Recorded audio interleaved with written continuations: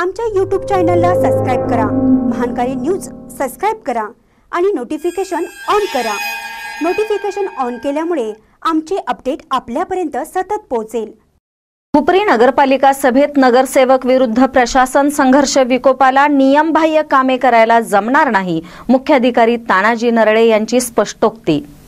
हुपरी नगरपालिकेच्या सभेत नगरसेवक विरुद्ध प्रशासन यांच्यातील संघर्ष विकोपाला गेल्याचं दिसून आलं. तर नियमबाह्य कामे करायला जमणार नाही अशी स्पष्टोक्ती मुख्याधिकारी तानाजी नरळे यांनी दिली. हुपरी नगरपालिकेची सभा अनेक विषयांवर गदारोळ होत आणि प्रशासन आणि नगरसेवक यांच्यातील संघर्षासह संपन्न झाली. सभेच्या अध्यक्षस्थानी नगराध्यक्षा जयश्री गाठ या होत्या.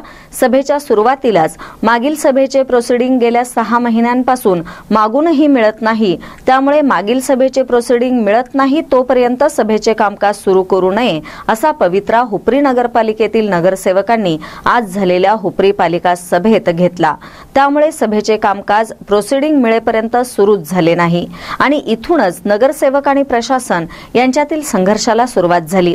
या सभेत स्वच्छता नालेसफाई प्रभागातील कामांची माहिती वृक्षारोपणासाठी खड्डे बांधकाम आणि व्यावसायिक परवाने कामगारांचा प्रश्न मराठा आरक्षण पाठिंबा अंगणवाडी दुरुस्ती अंगणवाडी खाऊ वाटपाचा ठेका शहरात एलईडी लाइट बसवणे वाचनालय इमारत आदी विषयांवर चर्चा झाली.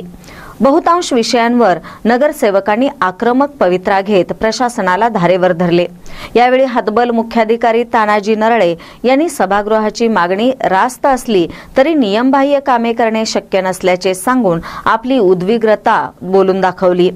यावेळी सभेत अंगणवाडी दुरुस्तीसाठी निधी दिल्याबद्दल पंचायत समिती सदस्य किरण कांबळे राजेश सिल्वरला महाराष्ट्राचा लोकप्रिय ब्रँड म्हणून गौरव झाल्याबद्दल राजेंद्र शेट्टे यांचा आणि उर्वरित महाराष्ट्र वैधानिक विकास महामंडळ अध्यक्षपदी निवड झाल्याबद्दल योगेश जाधव यांच्या अभिनंदनाचा ठराव नगरसेवक गणेश वाईंगडे सूरज बेडगे आणि पक्षप्रतोद भरत लठ्ठे यांनी मांडला.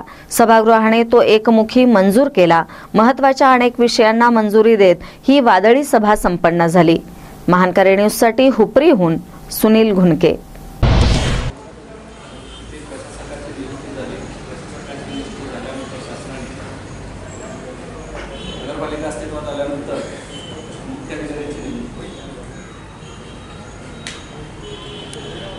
मुख्याधिकारी नेमणूक केल्यानंतर शासनाने नगरपालिकेसाठी जो आवश्यक असणारा जो कर्मचारी वर्ग आहे अधिकारी वर्ग आहे त्या अधिकारी वर्गाची बदल जे आपल्याला असतात ते मंजूर करून घ्यावे लागतात. सर्वांना माहीत आहे की पूर्वी ग्रामपंचायत होती आणि ग्रामपंचायत अस्तित्वात असताना ते कुठल्याही स्वरूपाचे ते तांत्रिक स्वरूपाचे कुठल्याही अस्तित्वात वर्ग कर्मचारी आणि वर्ग कर्मचारी या ठिकाणी कार्यरत होते.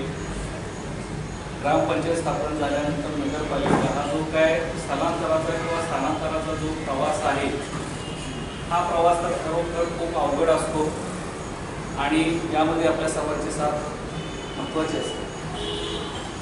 पूर्वी ग्रामपंचायतीचं कामकाज महाराष्ट्र किंवा मुंबई ग्रामपंचायत अधिनियमानुसार चालत होतं.